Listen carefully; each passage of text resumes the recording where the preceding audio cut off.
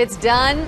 It's over. All activities related to the Veishea Spring Celebration at Iowa State University are canceled for this year and possibly for good. That's after another round of riots broke out late last night and early this morning near campus. At least two people suffered injuries, and considering the events past, it's sparking strong reaction.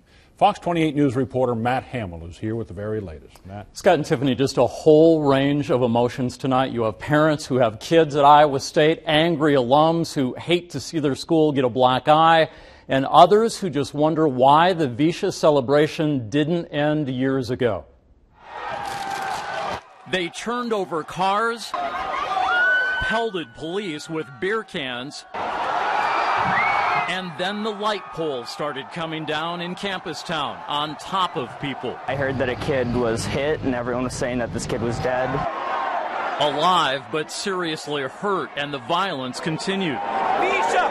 Veishea! Veishea! I can remember standing right there watching kids in the middle of Lincolnway. Cyclone Alumni Association Club President Craig Adamson says the same thing happened when he was a student, and it has to stop. If the student ends up dying, you know, it would be a shame, I think, for the university to stop the celebration because of that. But at the same time, maybe that is the appropriate response for President Leath.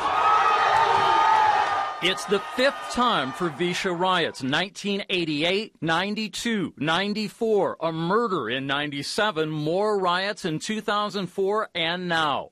On our Facebook page, Ben writes, Some idiots unfortunately have ruined it for everyone. And Craig posts, This needs to be the end of it. Nothing like Iowa making the national news for riots. Nice slip, and who's there again? After incredible school pride just two weeks ago when the Cyclones played in the NCAA tournament, former ISU student president Spencer Hughes from Cedar Rapids says he understands the outrage. And it catches on nationally and it gets media attention, and all of a sudden, this becomes the image uh, of the university in some people's minds, and and that's not who we are. There really is a cause for anger. One other note on Twitter last night, an Iowa State journalism student addressed the history of Veishea riots. He says it's Tuesday. We used to blame these issues on people from out of town and said that it wasn't us. This time, it was us. Matt Hamill,